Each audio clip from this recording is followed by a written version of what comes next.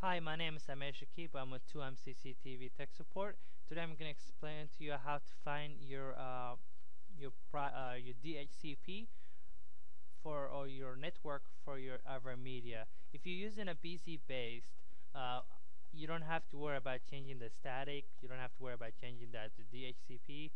Uh, because everything is taken care of by your computer. If you want to make your if you make your system static, what you need to do is make your computer static and if you want to make your system DHCP you have to make your computer DHCP but if you have a standalone DVR and these are very similar so just follow me and I will explain to you.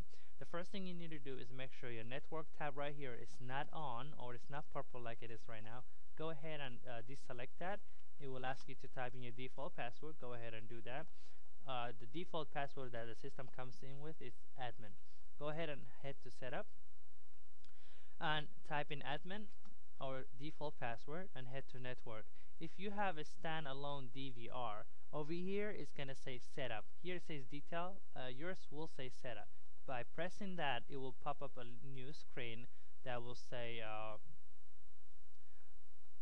obtain automatic IP address or you know manually input it. One of those two options. If you do manual static if you say obtain automatic IP address it will pull up a DHCP connection from your router because this computer is dependent on this uh, our server the computer system. I would explain to you how to change that on my next video but for now I would leave it I will leave all the setting the same. The only thing I will write down is port 80 for the HTTP port uh, the communication port the console port 5550 which you will need to log in for your remote console and the data port which is 5555. You need to open those three ports for your router. The 5555, you leave that in the background. You don't have to, you don't have to uh, worry about using that on your remote console because everything will be running in the background. But it's the most important one that you need to have that open, and that's how you check your network setting. On my next video, again, I'm gonna explain how to check your computer, how to change that from DHCP to static.